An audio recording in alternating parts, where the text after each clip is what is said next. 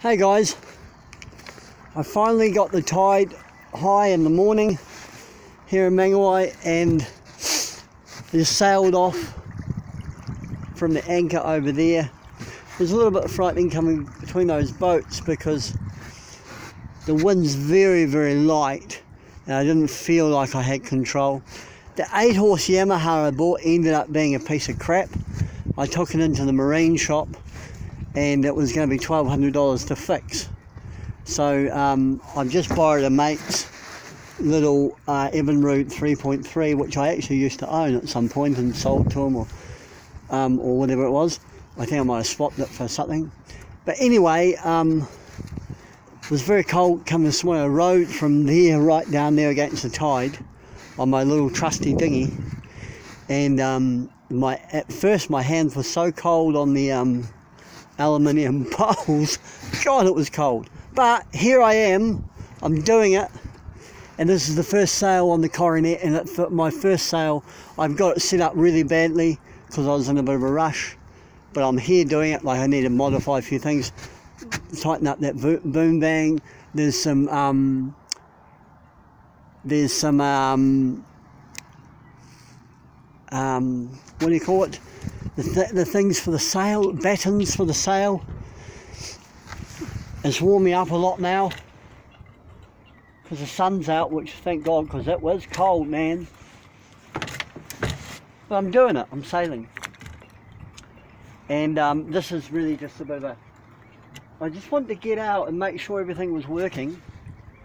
It doesn't matter that it's a light breeze. I just want to make sure everything's working. I want to have a couple of sails like this in the harbour. I'm sticking to my plan this time. I'm going to have a couple of sails like this in the harbour. Maybe this and then a bit more wind, hopefully. And uh, just make sure everything's sweet. And then I'm planning to take it up to the Bay Islands for three or four days in September. Hey, a couple of things I really like about the Coronet so far.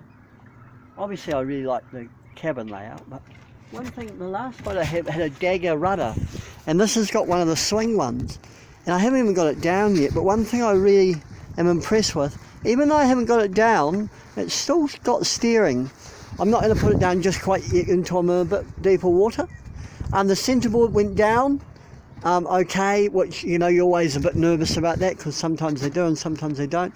I've actually got the tide with me, so I'm clipping along and if I didn't have the tide with me I wouldn't be going quite so fast but because um, really not much wind but you can just feel it the mainsail looked alright I had the um, carbon fibre whatever they're called front sail I wasn't even sure that it was absolutely for this boat but it ended up being I put it up and I've got two or three other sails so all in all it's good God it feels good to be sailing. Even if it's light breath, even if it's light wind even if it's in the harbour who gives a shit? You're doing it you know? It just feels good to be doing it.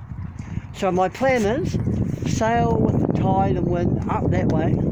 So the wind must be coming, must be uh, southwest, and um, go up to the end buoy, turn around, come back down, and anchor where I was. And then perhaps tomorrow, the next day, I'll sail up to the village and back, and then I'll take it out of the water. And I'm going away for a little bit, so on holiday down the South Island. So um, I'll put it back on the trailer and take it home. And that way I have no worries about it when I'm away. Because you don't want to worry about your boat and that's one of the great advantages of a trailer sailor. So far, um, I mean I've sailed these coronets before. So, um, you know, it was never going to blow me away. Um, and, and in five knots of wind or whatever it is, it's really not going to blow me away. But one, a couple of things I'd like to say quickly. Um, God, it was not, it's so nice to come back to a small boat and remember how easy things are. Like putting out the mainsail took like 30 seconds. I mean, there was all the hoo-ha like figuring out where everything went, and I did that because it was the first time I've you know sailed this boat. Um, but once I've done that, you know, pull, pull, pull the damn things up, and the front sail's the same.